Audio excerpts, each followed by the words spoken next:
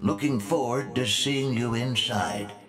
I've been getting addicted to Wasteland 3, and then I remembered, oh shit, I have a YouTube channel. I should probably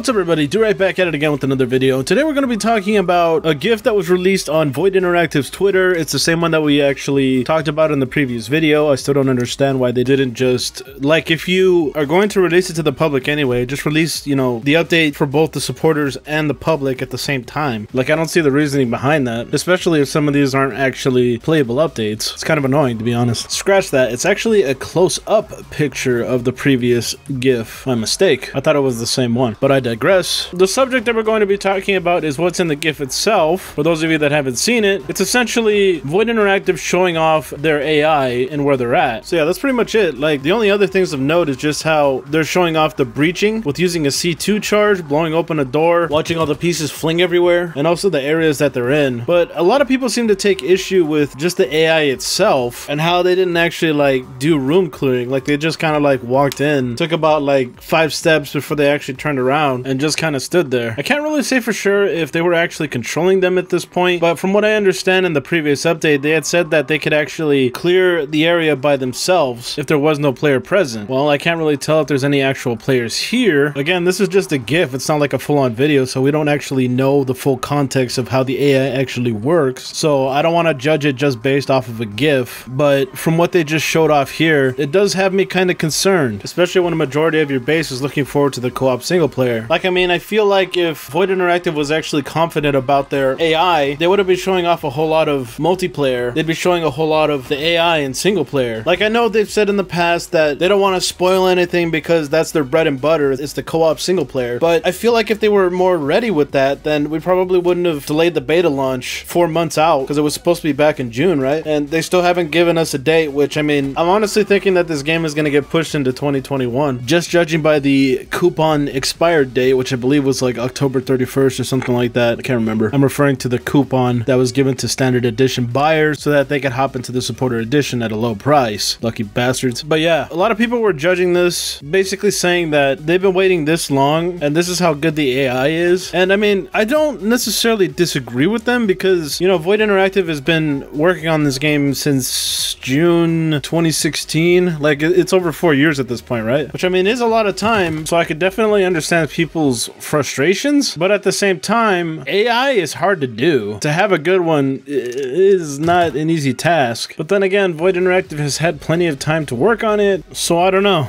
I've had a lot of close friends come out to me and say, wow, the SWAT 4 AI looks better than this. I'm like, oh sh. A lot of my close friends were saying, is there any way to get a refund? And telling me that this game is DOA, and I'm just like, I mean, I don't know about that, but sometimes it does feel like that, not gonna lie. So, I mean, the AI that's featured here, I think just looks okay. It doesn't look like anything crazy. They're just blowing a door open and just walking in, hardly doing any, like, clearing. So, I mean, I guess we'll see when they finally decide to release the beta and we get to see all the AI. But, uh, who knows when beta is going to be. So, what are your thoughts on the AI? I didn't really think too much of it, but I did see a whole lot of people talking about it, so I thought I'd cover it. And that's where I'm gonna end the video. If you're someone that enjoys the fact that I cover games like Ready or Not, be sure to comment, share, and like the video. If you're someone that's new to the channel, be sure to subscribe and ding the bell. You never know, you might find something that you like on the channel. If you're someone that would like to support the channel, check out my tip jar. It's at the top right on the eye icon. And with that all being said, I want to thank everybody for coming out to watch, and I guess I'll catch you in the next one. Bye-bye.